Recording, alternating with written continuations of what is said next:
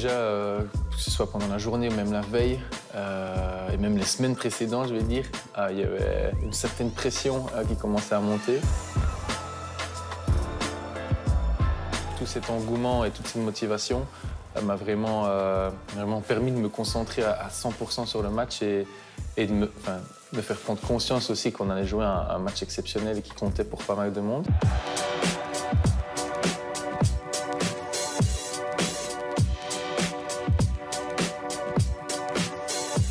J'arrive, je vais boire un café avec deux, trois. Après, euh, chacun met, son, enfin, met ses affaires, prépare, euh, prépare ses équipements.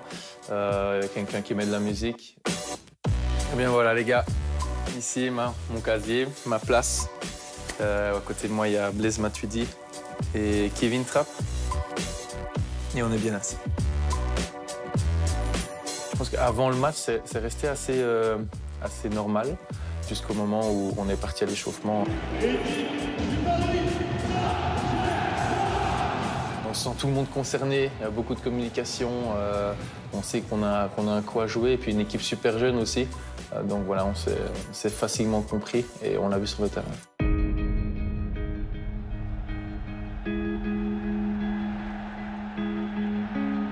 Côté, tu as les visiteurs qui viennent, comme Messi, Neymar, etc., euh, qui s'installent aussi de leur côté. Et puis toi, ben, tu essaies de rester concentré dans ton match et tu fais, euh, je veux dire, abstraction un peu des, adversaires. Ici, les portes sont ouvertes, donc on a énormément... Le bruit de l'ambiance euh, résonne assez bien. donc voilà, tu es directement dans le match, tu sens qu'il y a quelque chose. Et puis, au fur et à mesure des pas, et quand tu franchis euh, ici la, bâche, ici c'est Paris, et là tu arrives vraiment dans un autre monde. C'est vraiment la cassure entre, entre l'intérieur et l'extérieur avec l'atmosphère, l'ambiance, le stade comble, les cris. Tu rentres vraiment dans le vif du sujet.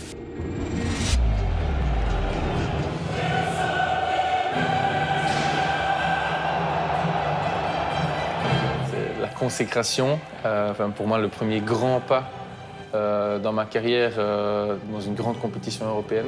Et quand tu te dis, je vais jouer Barça et à Neymar, Messi Suarez en face de moi, euh, comment ça va se passer? Tu te poses un peu des questions.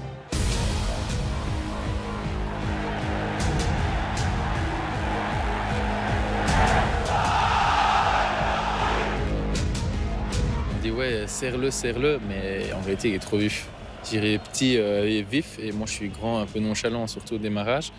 Donc, je me dis, ça va être compliqué, il va falloir que je rentre dedans. il n'avait pas beaucoup de ballons. Je, enfin, je le sentais un peu frustré. Il est à gauche, à droite. Euh, et voilà, c'était pas top. Il n'était pas en bonne condition.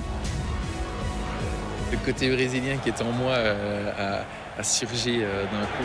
Ici, je suis sous pression et un des derniers défenseurs. donc, où je joue avec mon gardien, ou bien je tente quelque chose parce que quand je reçois la balle, je lève la tête et je vois un trou immense au milieu. Et, puis après, bon, j'ai fait 50 mètres sans, sans même être inquiété.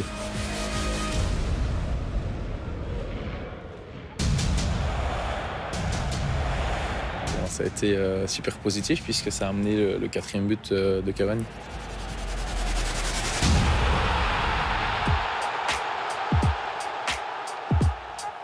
C'est des gens qui ont besoin de, s'extérioriser, un peu comme, euh, comme Michel Prudhomme. On a besoin d'un coach qui, qui, fasse office un peu de douzième homme et qui, qui se montre, qui, qui rouspète, qui, qui, joue un peu avec tout ça, euh, même si ça peut être seulement du show.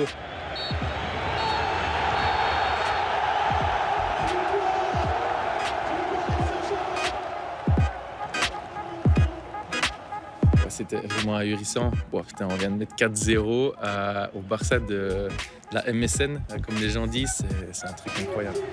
Tout le monde était euh, à fond dedans. Euh, les gars, c'est magique. Je dirais, le lendemain, tu vas en ville, les gens te remercient, euh, comme si tu avais fait quelque chose pour eux. Moi, enfin, moi je comprends pas bien le délire, mais voilà, ça leur a apporté quelque chose. Voilà, plupart sont abonnés depuis, depuis des années. Il y en a certains qui m'ont dit que ça faisait 15 ans que n'avaient plus vu un, match comme ça. Quoi.